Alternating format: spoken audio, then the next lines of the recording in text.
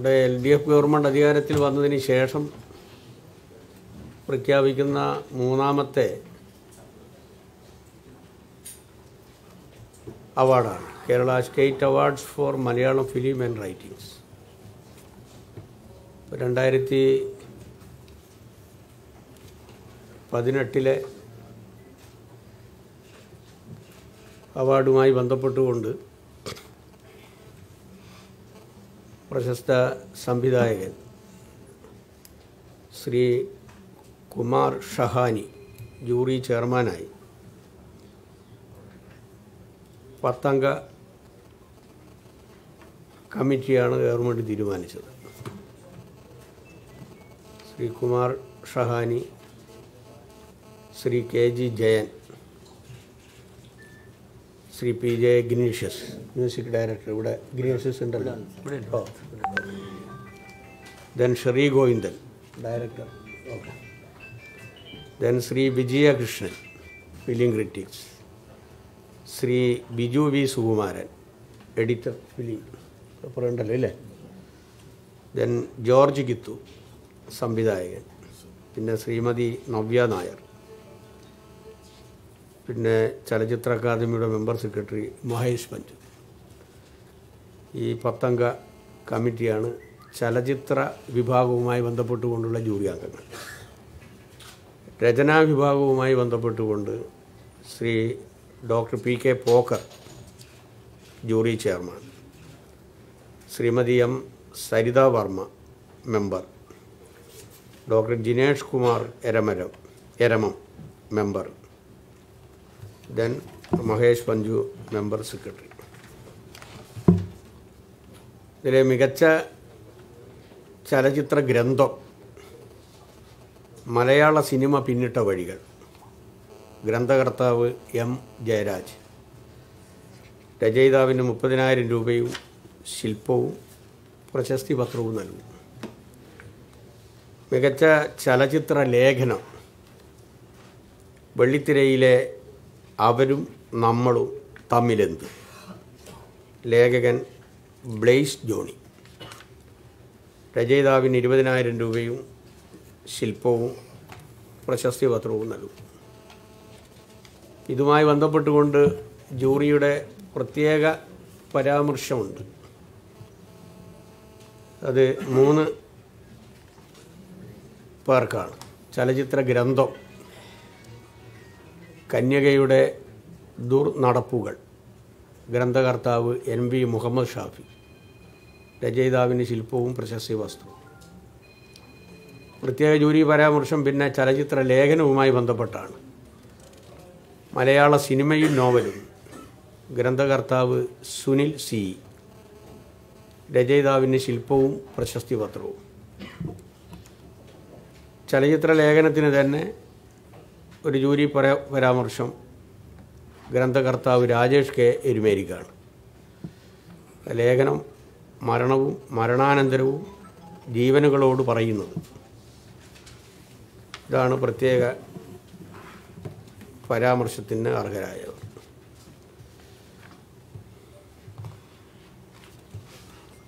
ചലച്ചിത്ര അവാർഡുമായി ബന്ധപ്പെട്ടുകൊണ്ട് കുട്ടികളുടെ നാല് ചിത്രങ്ങൾ ഉൾപ്പെടെ നൂറ്റി നാല് ചിത്രങ്ങളാണ് അവാർഡ് കമ്മിറ്റിയുടെ പരിഗണനയ്ക്കായി എത്തിയത്. അതിൽ അമ്പത്തിയേഴ് ചിത്രങ്ങൾ പുതുമുഖങ്ങളുടേതായിരുന്നു. മൂന്ന് സ്ത്രീ സംവിധായകരുടെ ചിത്രങ്ങൾ ഇതിൽ ഉൾപ്പെടുന്നുണ്ട്. ചിത്രങ്ങളുടെ തിരഞ്ഞെടുപ്പ് മൂന്ന് കമ്മിറ്റികളുടെ മേൽനോട്ടത്തിലാണ് നടത്തിയത്. ഈ മൂന്ന് കമ്മിറ്റികളും തിരഞ്ഞെടുത്ത ഇരുപത് സിനിമകളാണ്.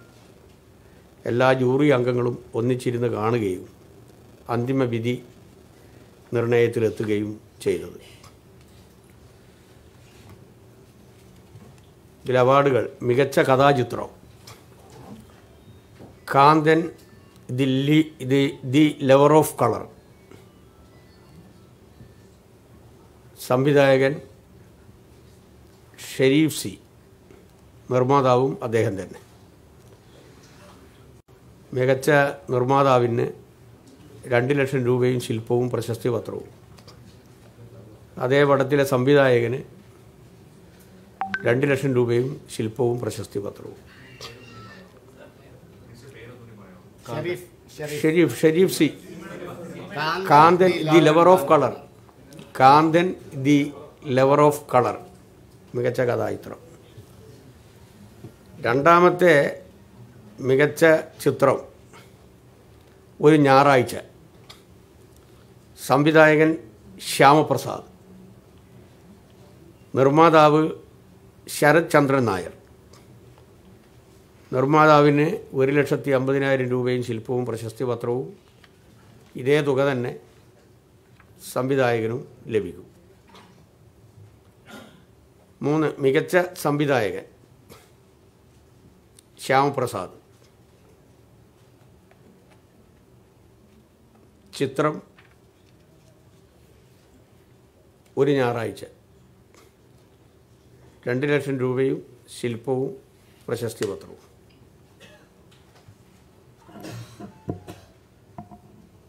മികച്ച നടൻ ജയസൂര്യ. ചിത്രങ്ങൾ ക്യാപ്റ്റൻ ഞാൻ മേരിക്കുട്ടി. ക്യാപ്റ്റൻ എന്ന് പറയുന്ന പടം നമ്മുടെ അന്തരിച്ചു പോയ വി പി സത്യന്റെ ജീവിതകഥയുമായി ബന്ധപ്പെട്ടുകൊണ്ടുള്ള ഹൃദയസ്പൃക്കായ ഒരു കഥയാണത്.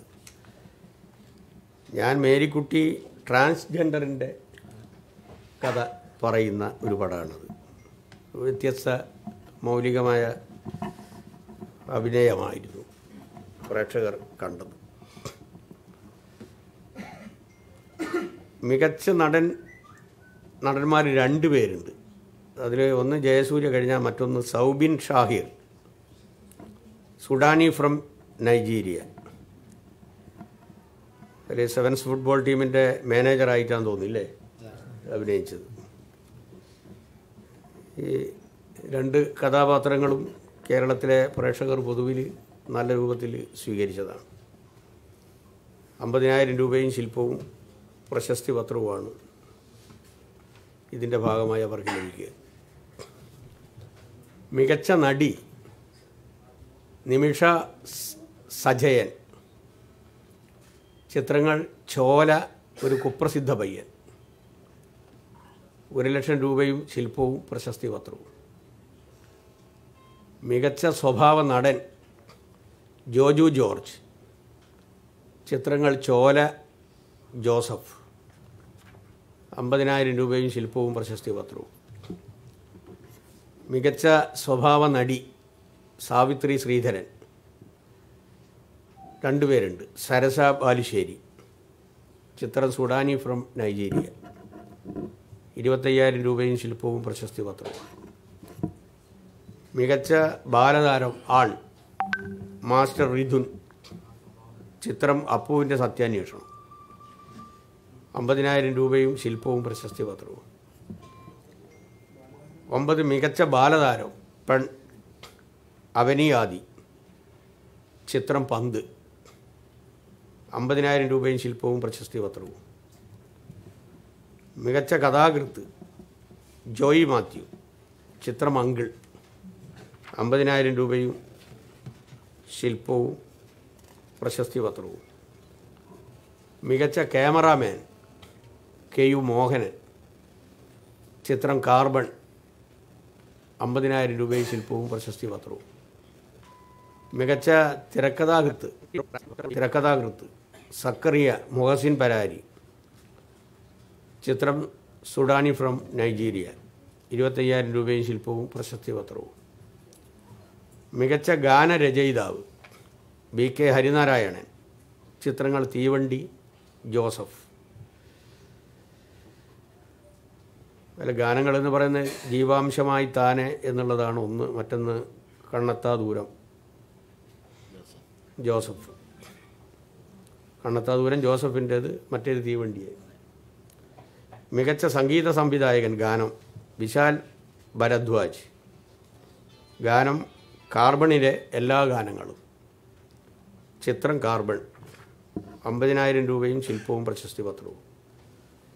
മികച്ച സംഗീത സംവിധായകൻ ബിജിബാൽ പശ്ചാത്തല സംഗീതം പശ്ചാത്തല സംഗീതത്തിൽ ബിജിബാൽ ചിത്രമാമി അമ്പതിനായിരം രൂപയും ശില്പവും പ്രശസ്തി പത്രവും. മികച്ച പിന്നണി ഗായകൻ വിജയ് യേശുദാസ്. ഗാനം പൂമുത്തോളെ എന്ന് തുടങ്ങുന്ന ഗാനമാണത്. ചിത്രം ജോസഫ്. അമ്പതിനായിരം രൂപയും ശില്പവും പ്രശസ്തി പത്രവും. മികച്ച പിന്നണി ഗായിക ശ്രേയ ഘോഷാൽ. ഗാനം നിർമാതള പൂവിനുള്ളിൽ ആമി എന്ന പടത്തിലെ ഗാനം. അമ്പതിനായിരം രൂപയും ശില്പവും പ്രശസ്തി പത്രവും. മികച്ച ചിത്ര സംയോജകൻ അരവിന്ദ് മന്മഥൻ. ചിത്രം ഒരു ഞായറാഴ്ച. അമ്പതിനായിരം രൂപയും പ്രശസ്തിയും ശില്പപത്രവും പ്രശസ്തി പത്രവും. മികച്ച കലാസംവിധായകൻ വിനേഷ് ബംഗ്ലാൻ. ചിത്രം കമ്മാര സംഭവം. അമ്പതിനായിരം രൂപയും ശില്പവും പ്രശസ്തി പത്രവും. മികച്ച സിംഗ് സൗണ്ട്. അനിൽ രാധാകൃഷ്ണൻ. ചിത്രം കാർബൺ. അമ്പതിനായിരം രൂപയും ശില്പവും പ്രശസ്തി പത്രവും. മികച്ച ശബ്ദമിശ്രണം. സിനോയ് ജോസഫ്. ചിത്രം കാർബൺ. അമ്പതിനായിരം രൂപയും ശില്പവും പ്രശസ്തി പത്രവും. മികച്ച ശബ്ദ ഡിസൈൻ ജയദേവൻ സി ചിത്രം കാർബൺ. അമ്പതിനായിരം രൂപയും ശില്പവും പ്രശസ്തി പത്രവും. മികച്ച laboratory colourist Prime Focus Bombay ചിത്രം കാർബൺ. അമ്പതിനായിരം രൂപയും ശില്പവും പ്രശസ്തി പത്രവും. മികച്ച മേക്കപ്പ് മാൻ റോണക്സ് സേവിയർ ചിത്രം ഞാൻ മേരിക്കുട്ടി. അമ്പതിനായിരം രൂപയും ശില്പവും പ്രശസ്തി പത്രവും മികച്ച വസ്ത്രാലങ്കാരം. സമീറ സനീഷ് ചിത്രം കമ്മാര സംഭവം അമ്പതിനായിരം രൂപയും ശില്പവും പ്രശസ്തി പത്രവും മികച്ച ഡബ്ബിംഗ് ആർട്ടിസ്റ്റ് ആൺ വിഭാഗം. ഷമ്മി തിലകൻ. ചിത്രം ഒടിയൻ. കഥാപാത്രം മൂത്ത മാണിക്കൻ. പ്രകാശ് രാജ് അമ്പതിനായിരം രൂപയും ശില്പവും പ്രശസ്തി പത്രവും.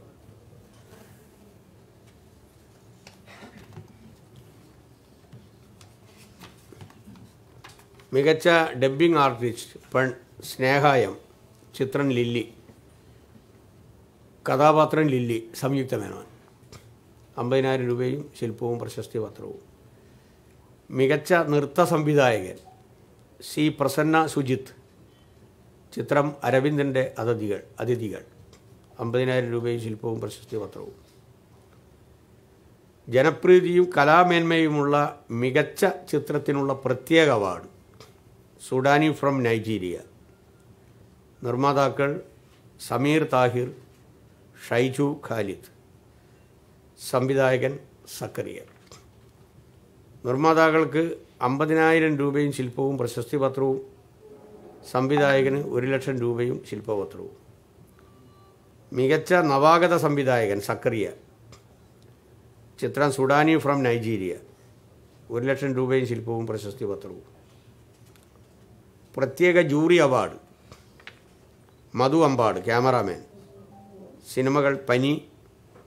And the Oscar goes to. അമ്പതിനായിരം രൂപയും ശില്പവും പ്രശസ്തി പത്രവും. മികച്ച കുട്ടികളുടെ ചിത്രം. അങ്ങ് ദൂരെ ഒരു ദേശത്ത് നിർമ്മാതാവ് ബേബി മാത്യു സംവിധായകൻ ജോഷി മാത്യു. നിർമ്മാതാവിന് മൂന്ന് ലക്ഷം രൂപയും ശില്പവും പ്രശസ്തി പത്രവും സംവിധായകന് ഒരു ലക്ഷം രൂപയും ശില്പവും പ്രശസ്തി പത്രവും പ്രശസ്തി പത്രവും. പ്രത്യേക ജൂരി പരാമർശങ്ങൾ ഒന്ന് സംവിധാനത്തിന്. സന്തോഷ് മണ്ടൂർ സിനിമ പനി ശില്പവും പ്രശസ്തി പത്രവും കൊടുക്കും. പ്രത്യേക ജൂരി പരാമർശം സംവിധാനം. സനൽകുമാർ ശശിധരൻ സിനിമ ചോലം ചോല ശില്പവും പ്രശസ്തി പത്രവും. Sound design Sanalkumar Sasidharan cinema Chola ശില്പവും പ്രശസ്തി പത്രവും. അനുഭ അഭിനയം പ്രത്യേക ജൂരി പരാമർശം K P S C Lalitha അല്ല K P K P S C Leela. K P S C എന്ന് പറയുമ്പോൾ മറ്റേ പേര് വരും. K P S C Leela cinema Raudram രണ്ടായിരത്തി പതിനെട്ട്. പ്രശസ്തി പത്രവും ശില്പവും. ഇതിൽ മൊത്തം നമ്മൾ മുപ്പത്തിനാല് അവാർഡും ആറ് പ്രത്യേക പരാമർശവുമാണ്. കഴിഞ്ഞ രണ്ട് അവാർഡുകൾ നിങ്ങളൊക്കെ ശ്രദ്ധിച്ചിട്ടുണ്ടാവും. പൊതുവിൽ നല്ല അപ്രിസിയേഷനാണ്. പൊതുസമൂഹത്തിന്റെ ഭാഗത്തുനിന്ന് നമുക്ക് കാണാൻ കഴിഞ്ഞത്. അതുപോലെ തന്നെ ഈ ജൂറി അവാർഡും സ്വാഭാവികമായും നല്ല പ്രതികരണം ഉണ്ടാവും എന്ന് പ്രതീക്ഷിക്കുന്നു.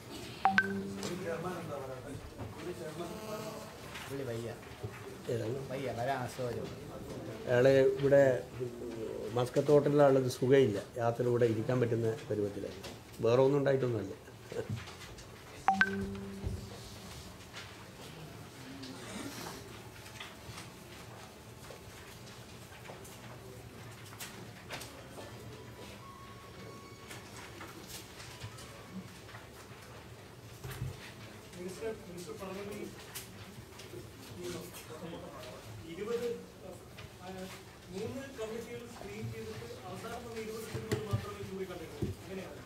അതെ. അതെ പറഞ്ഞു അല്ല അതായത് എ ഗ്രൂപ്പ് മുപ്പത് സിനിമ ബി ഗ്രൂപ്പ് മുപ്പത്തഞ്ച് സിനിമ സി ഗ്രൂപ്പ് മുപ്പത്തഞ്ച് സിനിമ. ഓരോ ഗ്രൂപ്പിൽ നിന്നും ഏഴ് വീതം സിനിമകൾ നമുക്ക് തന്നിട്ടുണ്ട്. അങ്ങനെ അതിൽ രൗദ്രം ചോല ഓൾ ആമി കാന്തൻ പനി and the Oscar to A group തന്നു. പെങ്ങളില കമ്മാര സംഭവം കാർബൺ എ സൺഡേ ഒരു കുപ്രസിദ്ധ പയ്യൻ സൈലൻസർ. അത് ബി ഗ്രൂപ്പ് തന്നു. ഗ്രൂപ്പ് സി ജോസഫ് ഞാൻ Prakashan Sudani from Nigeria captain ഒരു കാട്ടിൽ ഒരു പായ്ക്കപ്പൽ ഞാൻ മേരിക്കുട്ടി ട്വന്റി ഫോർ ഡേയ്സ് അപ്പോൾ പ്രധാന അവാർഡുകളെല്ലാം ഈ ഇരുപത്തി ഇരുപത് പടത്തിൽ നിന്നാണ് നിശ്ചയിച്ചിരിക്കുന്നത്. അവസാന റൗണ്ടിൽ വരാത്ത സിനിമകളിൽ നിന്ന് രണ്ട് മൂന്ന് അവാർഡ് അതായത് അത് നമുക്ക് ഈ ഇരുപത് സിനിമകളിൽ നിന്ന് ലഭിക്കാത്തതുകൊണ്ട് മാത്രം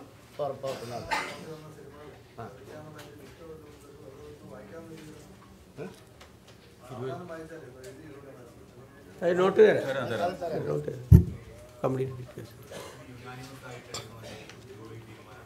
അത് സാധാ സാധാരണയിൽ യുനാനിമസുമാവും ഭൂരിപക്ഷമാവും അതിപ്പം നമ്മളിപ്പോൾ അതിന്റെ ഉള്ളടക്കത്തിലേക്ക് കടക്കേണ്ടിയില്ല ഓരോരുത്തർ എന്താ അഭിപ്രായം പറഞ്ഞു എന്നുള്ളത്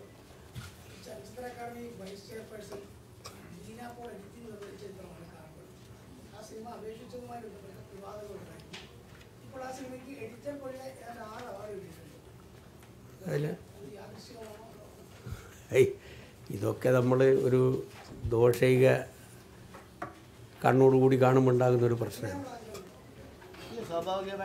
ഇതിലിപ്പോൾ ഈ ജൂറി അംഗങ്ങൾ എന്നൊക്കെ പറയുന്നതൊന്നും ആരും സ്വാധീനിക്കുന്നില്ലല്ലോ നടക്കുകയില്ലല്ലോ.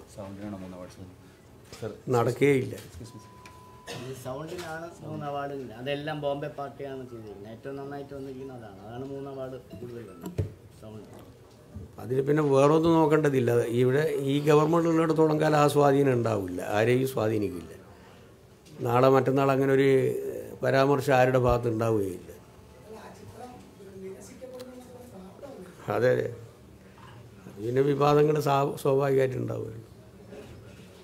ശരി. ഓക്കെ.